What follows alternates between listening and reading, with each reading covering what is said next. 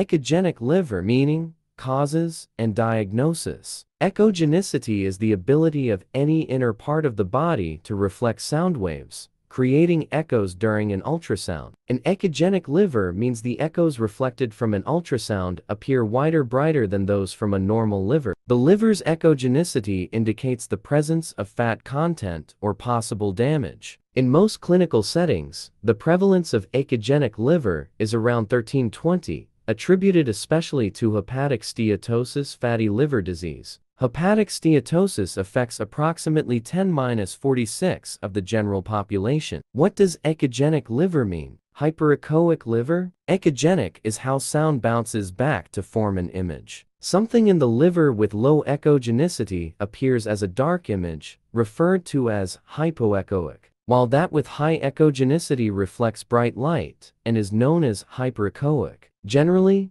Diffuse liver disease can be either hyperechoic due to fatty changes in the liver, cirrhosis, or steroid hepatopathy, or hypoechoic due to lymphoma, suppurative hepatitis, and congestion. Hyperechoic liver lesions on an ultrasound can result from several entities that may be malignant and benign. An echogenic liver is commonly identified with hepatic steatosis fatty liver disease. How is the liver disease diagnosed? To diagnose liver disease, your doctor will likely start by performing a physical exam and asking about your health history. After that, they will recommend an ultrasound test to check for liver attenuation. Low and high attenuation values can indicate the presence of disease. Afterward, your doctor may recommend the following tests to complete the diagnosis. Liver biopsy. This procedure is done by removing a tissue sample from the liver biopsy to help diagnose liver disease and check signs for the extent of the damage. The procedure uses a long needle inserted through the skin to extract a tissue sample. Then, it is sent to the lab for testing. Blood tests. These help to diagnose liver disease.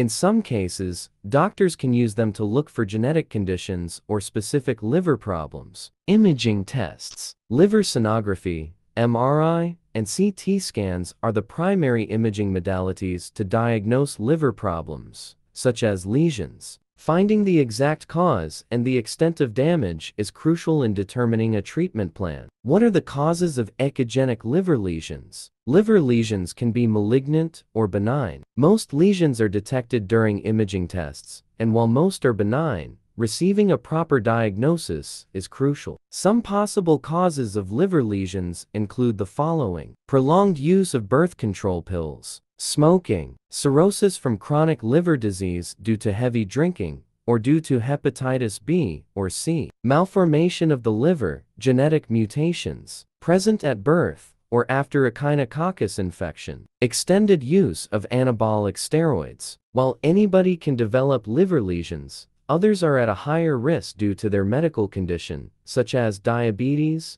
hemochromatosis iron buildup, cirrhosis or lifestyle behaviors like being overweight, heavy alcohol use, smoking cigarettes, or eating food with aflatoxin. Malignant lesions. Malignancy is the abnormal growth of cells or tissues that creates a cancerous tumor. These are some of the malignant entities responsible for the hyperechoic liver. Hepatocellular carcinoma, especially in a cirrhotic liver, is a common type of liver cancer. Cholangiocarcinoma or bile duct cancer. Benign lesions. A benign tumor has no significant effect on the body. However, Below are some tumors to consider when the ultrasound reflects a positive image of a hyperechoic liver. Focal nodular hyperplasia or hepatic tumor that forms in the liver. Hepatic hemangioma. The presence of hyperechogenicity may be due to fat around a liver lesion, but some non-fat lesions may also be echogenic. What are the possible errors from imaging diagnosis? A diagnostic error can harm an individual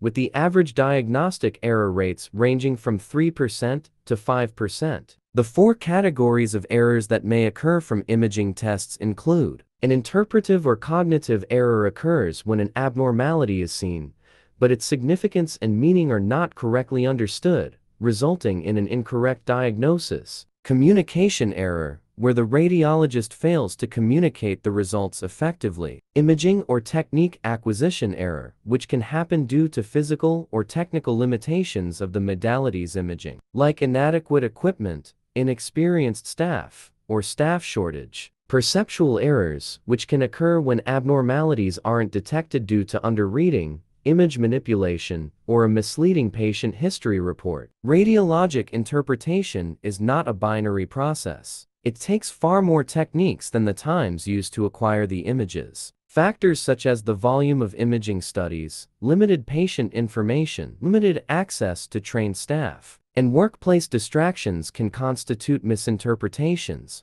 resulting in misdiagnosis.